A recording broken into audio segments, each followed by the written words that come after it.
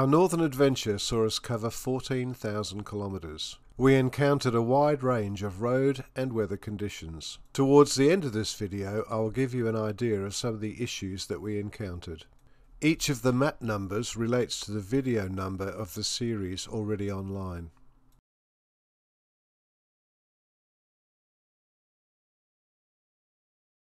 It is essential that your vehicle and trailer are in top condition. Make sure that your car has been recently serviced and has no lingering problems that could flare up later. Ensure that your tyres are new or near new. It is probably a good idea to carry two spares. Make sure that your shocks and springs are operating properly. It is probably a good idea to upgrade your suspension before you go.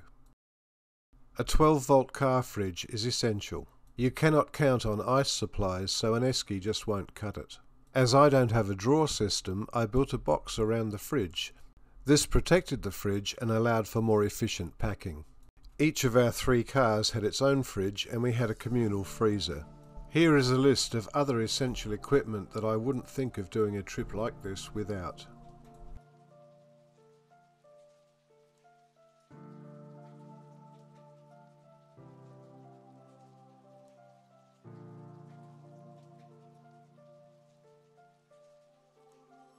It is also good practice to go through a daily checklist on your vehicle before moving off each day.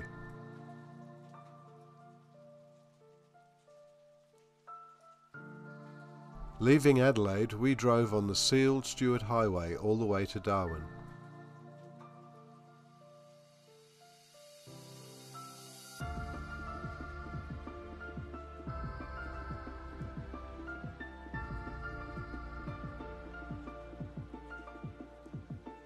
From Darwin, the road is all bitumen except for the sections into Lake Argyle and Purnululu.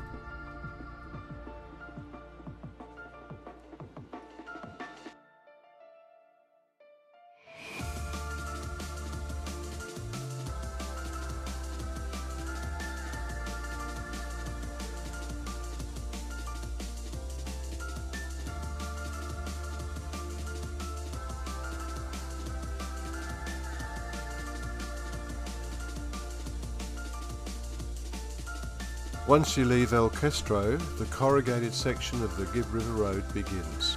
It ranged from quite good to bone jarring. If you are lucky enough to be following a grader, it can be quite reasonable.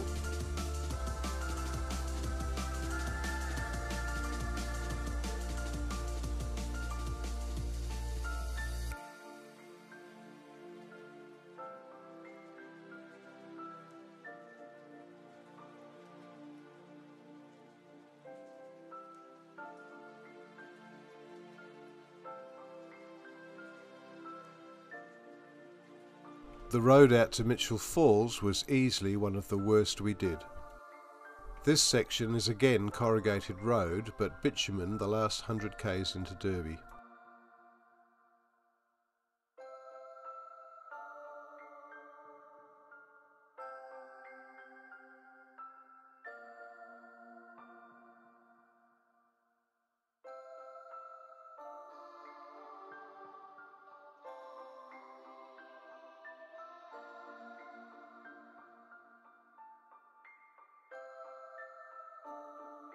The road from Broome to Beagle Bay is extremely rough but will be bitumen by 2021.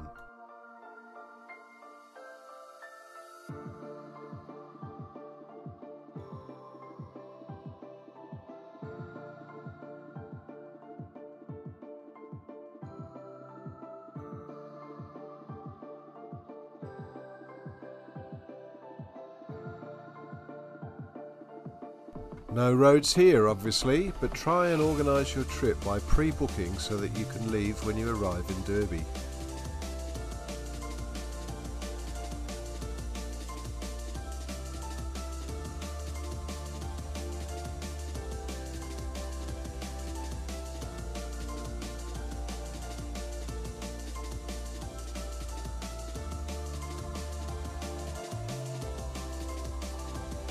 Broome to Halls Creek is all bitumen, but the Tanami track, well that's a different matter.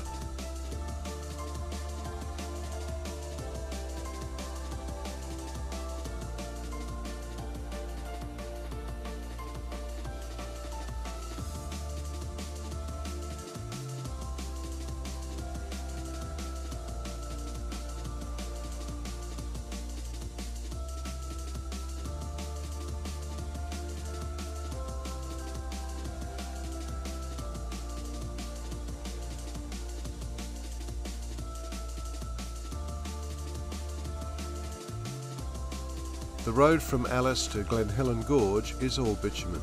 Roads in the Flinders Ranges range from bitumen to fairly well maintained dirt. Any rainfall of more than about 10 to 15 millimetres will result in closed roads in the Flinders Ranges.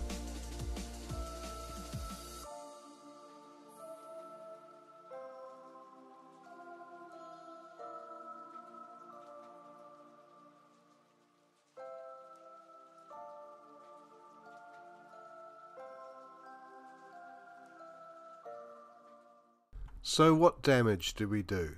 I carried two spares and didn't need either of them. It is important to air up or air down depending on the road conditions. We regularly found things had come loose in our morning checks. We did break the aerial mount and a roof rack support. Other than that, we did pretty well. Well, as they say, you're a long time dead. A trip to the Kimberley is on most people's bucket list. My advice is simple stop talking about it and do it. It's very difficult to put an actual cost on what we did. I didn't keep record of fuel costs because I figured it costs what it costs. We topped up with fuel at every opportunity and having a long range tank never looked like being short. I do know that even towing a camper trailer we averaged less than 15 litres per 100k. We did do a lot of extra things, boat cruises and the like, but then you're most likely only going to go there once. I hope that this series of videos and this final summary video has enthused you to go to the Kimberley. Thanks for watching and stay tuned for further adventures.